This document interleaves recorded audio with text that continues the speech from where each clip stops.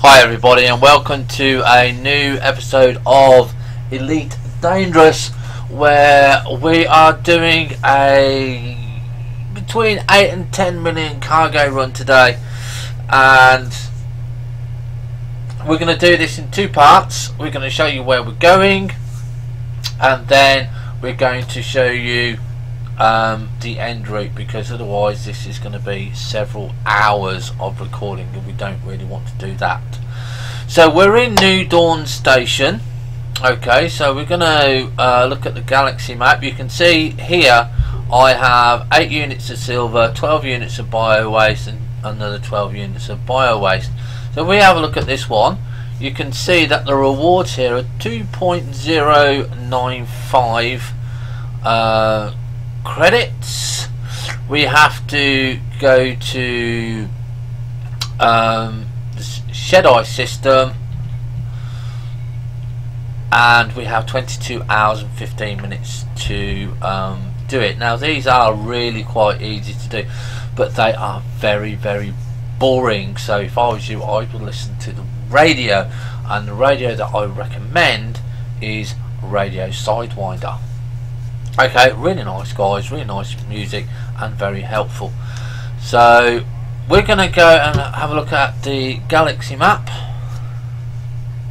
We've plotted the route already. You can see that uh, we're going along here, going all along this route here. Okay,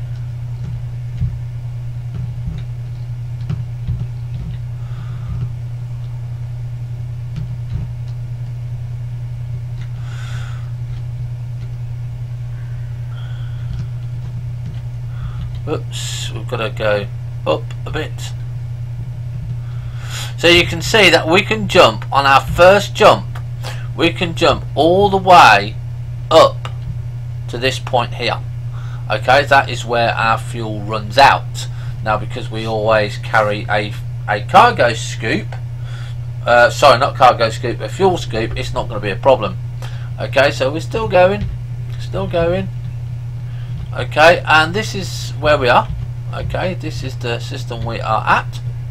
So if you look at the starting system we are at Seos okay this is where some of the helpful guys have said to go.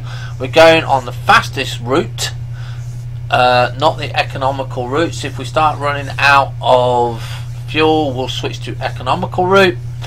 And when we get to the other end you can see that we have got three locations and they're all clustered. So that's two four about six million there. Okay so that's why we're going to be going there. So we are now going to exit. We're going to see how many jumps it is to this um, place we're going and we're doing 26 jumps. Okay. So we're going to estimate it's going to take us around about an hour. We are currently leaving at 1400 hours local time, which is GMT time. Okay, and then when we get to the other end, as long as we survive, we'll let you know how long it took us. We'll hope to see you at the other end. Have fun. Stay safe. We'll see you in part two when we go and deliver it.